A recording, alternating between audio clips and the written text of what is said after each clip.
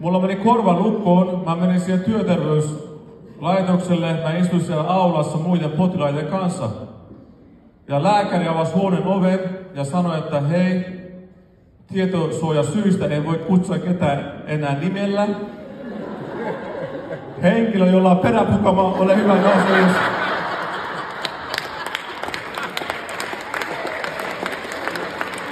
Ja kahtella.